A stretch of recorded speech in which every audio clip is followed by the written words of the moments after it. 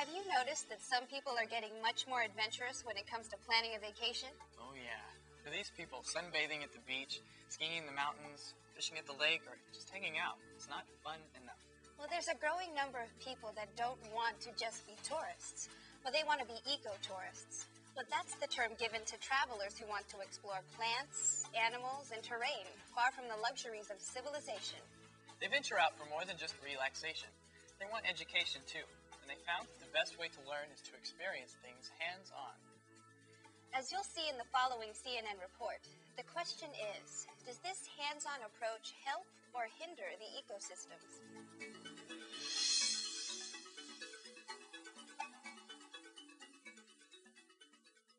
For many, a boat trip down a remote jungle river is the adventure of a lifetime.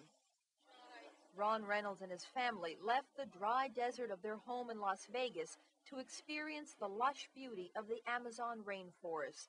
Just gorgeous, it really is. This is what I thought Brazil would be.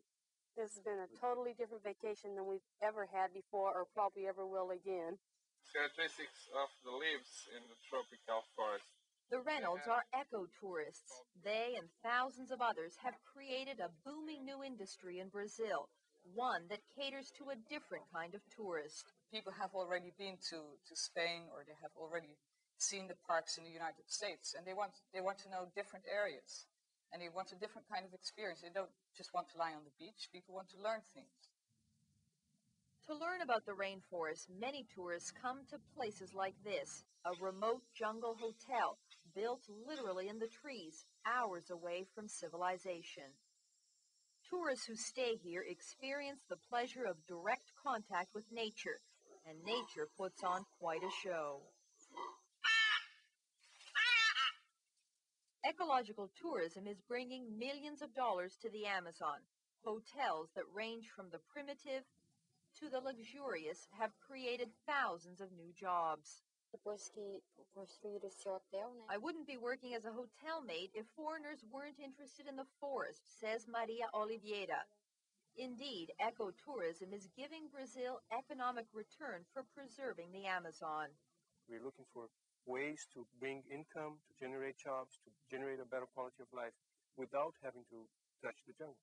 But there are those who say you can have too much of a good thing and that the rapid growth of ecotourism in Brazil's Amazon may end up destroying what it's supposed to preserve.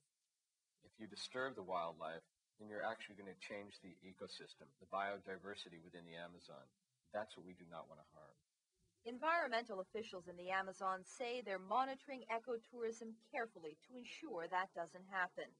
The hope is that unlike cattle ranchers or mining companies who destroy the forest for profit, the tourists who come here are concerned about nature and its preservation. Marina Mirabella, CNN, in the Amazon rainforest of Brazil.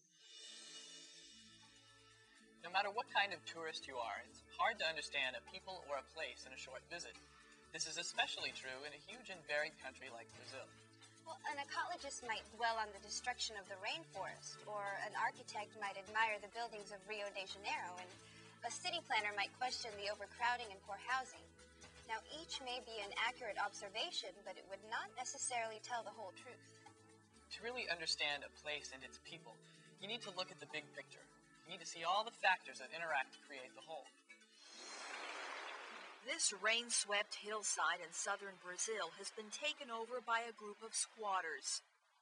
Moacir Campigoto and his family came here from the impoverished northeast looking for a plot of land, a way to survive. A terra é a, a esperança do pobre. I have no job and five children to feed, says Moacir. This land is our only chance. Though Brazil is the largest country in Latin America with an abundance of arable land, most of it is owned by a wealthy few. The vast majority, a hundred million poor people, have virtually no access to it. Ou seja, esses trabalhadores pobres. The poor are forced to migrate in search of a place to make a living, and this is causing enormous problems. Perhaps the biggest problem is the impact on the environment. More than 10 million people have already moved into Brazil's Amazon rainforest, cutting, clearing, struggling to feed their families on land that quickly quickly becomes infertile, forcing them to move on. We don't have the right to uh, say to someone that lives in this area that cutting down the forest and burning is destruction, because for them it is not destruction. That is the only alternative they have to survive, to raise the family, and to have some income. Millions more have looked to big cities for survival. 75% of Brazilians now live in urban areas. Cities like Rio and Sao Paulo are bursting at the seams. There are crowded shanty towns everywhere. In Rio, untreated sewage from the slums pours into the ocean, and the growing population is now threatening the city's urban rainforest, the largest in the world. Already, 20% of this subtropical jungle has been destroyed as poor people move in and cut trees to build their shacks. It's a social and environmental problem. If something isn't done soon, this forest will disappear. Many say the answer to Brazil's uncontrolled migration is land reform, making more of it available to the poor. From the point of, of view of human beings, or from the point of view of the land, it is urgent to have a land reform in Brazil. It is something the Brazilian government has been promising for years, but so far little has been done.